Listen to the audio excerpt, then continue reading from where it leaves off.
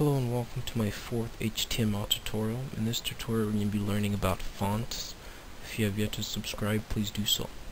Um, you know, we're going to be editing fonts. This is going to take a while, tutorial, but just look look carefully and uh, hopefully you understand.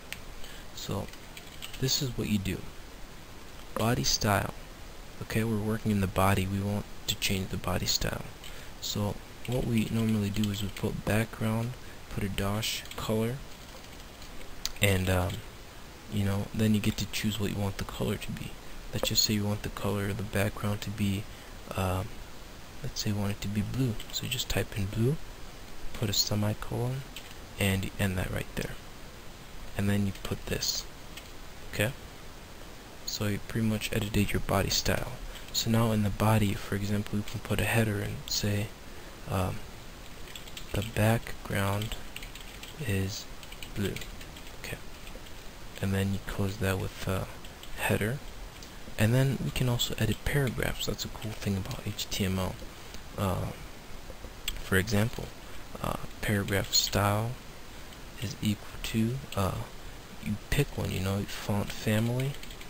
Um, and uh, we can make the font family for example um, let's just say we want it to be uh, Times New Roman. So you just type in Times and then you can also edit the font color by just putting a color.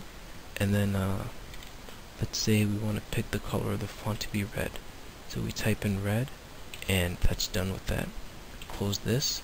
Type in something for your paragraph like the text is red and close that with the paragraph function. Okay? And then we can make another paragraph uh, this time we can edit uh, its uh, font size so by just putting font size um, and uh, we can pick a size. Let's just say we want to be 40 pixels.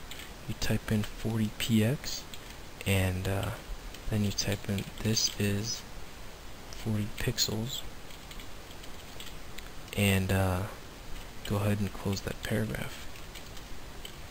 So that's how you work with fonts. It's you know, pretty complicated in the beginning, but uh, eventually you'll catch on. Let's go ahead and save, and hopefully we didn't make any mistakes. Let's go ahead and open this bad boy. Notice the background that we picked was blue, and we typed a paragraph that says the background is blue.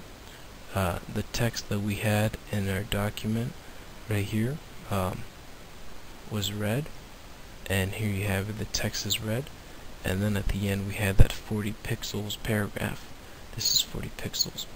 Thanks for watching my fourth tutorial. If you have yet subscribed, I suggest you do because the next tutorials are going to be pretty huge. And uh, I'll see you in my next tutorial. Thank you.